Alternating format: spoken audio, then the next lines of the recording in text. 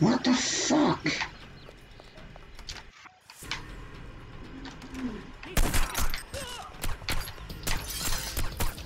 What the fuck?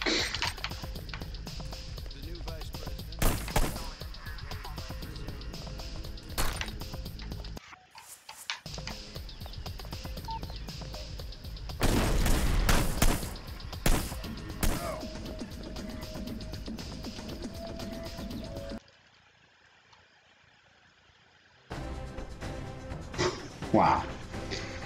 And I actually managed to beat my my best time. Amazing.